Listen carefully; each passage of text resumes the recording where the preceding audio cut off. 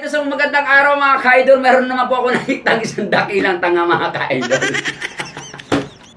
Hindi yata ito nakasakay ng motor. Dahil si Luz Panday mga ka-idol, nagpalit po ng profile kahapon. And then, may nag-comment doon. Pero bago ang lahat mga ka-idol, introduction muna tayo mga ka-idol.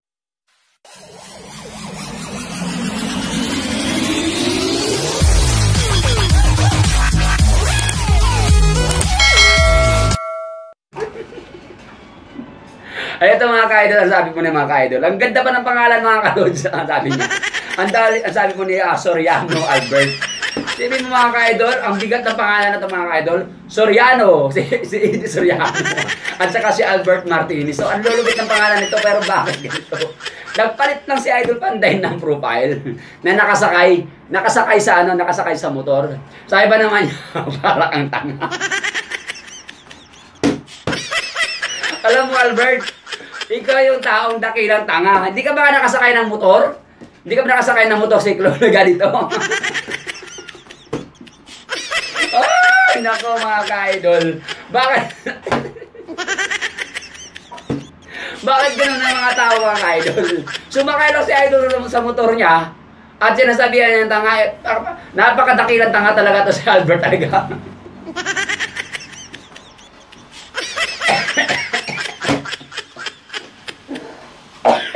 Ay, nako. Inuubo tuloy ako mga ka-idol. Ang tawa-tawa ko nito mga ka-idol sa kanyang reaction mga ka-idol dahil hindi hindi ba yata ito nakasakay ng motor mga ka-idol? Itong taong ito mga ka-idol. Isipin mga ka-idol, kaayos-ayos po ng ano? Ayos-ayos po ng picture ni Luz Panday. Ang ganda ng Luz Panday, napakagwapo ni Luz Panday dyan, oh, ang ganda. At saka nakangiti pa. Buhay na buhay yung ngiti ni Luz Panday mga ka-idol, tingnan mo. Pero, bigla may nag-comment mga ka-idol, siya pa yung number one na.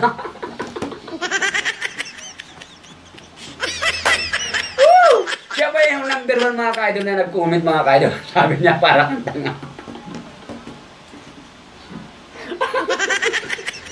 Anong nga itong taong ito? Hindi man lang iniisip niya mga ka-idol na sobrang saya ni Luz Panday na nakasakay siya ng motor. Samantalang ito si Albert Martinez. Aray ko, aray ko.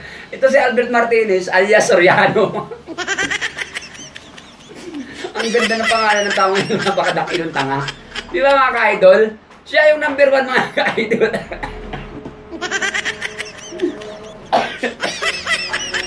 Alright mga ka-idol. Siya yung number one agad nag-comment ka-idol. Siya yung pinakadaki ng tanga. Aray ko mga ka-idol.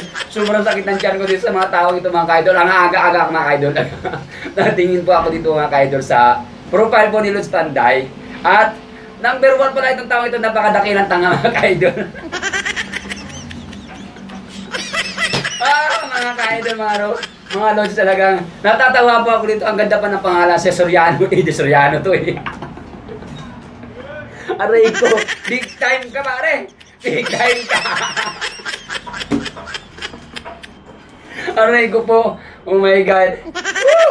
Napapayak ako lods. Patawarin nyo ako mga lods. May sayad na yata ako mga idol.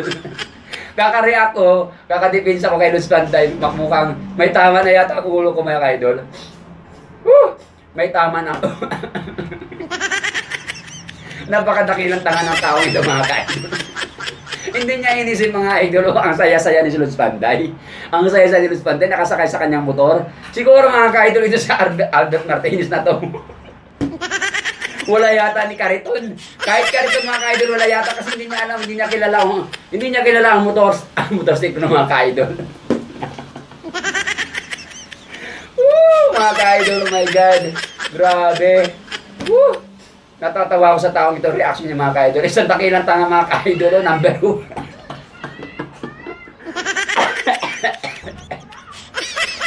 number one mga ka-idol, isang dakilang tanga mga ka-idol, number one na oh, ang kukomment mga ka-idol. Oh. Siya talaga ang nangunguna oh, mga ka-idol.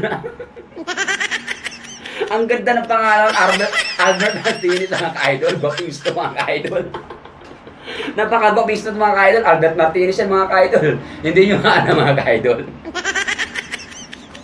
si Albert Martinez mga ka-idol, yan yung mga Doon sa unang mga 60 star mga ka-idol. Kaso nga ito, ito naman si Albert Martinez alias Soriano mga ka-idol.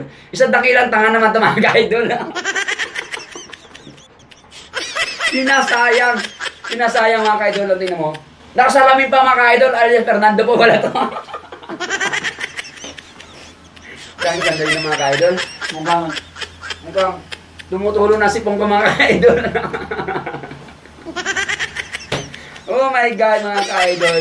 Pag mag-react ka, ayusin mo naman. Ah, pag comment ka, ayusin mo naman. Eh, sa iyo ang balik eh. Di ba? Sa iyo ang balik Soriano. alias Albert Martinez. Isa ang dakilang tanga eh. Hindi mo ba inisip po? Kita mo po yan? Ang ganda-ganda na picture ni Luz Panday dyan. Oh, tingnan mo. Di ba? Ang ganda-ganda ng ngiti niya. Di ba? Ang saya-saya ni Luz Panday.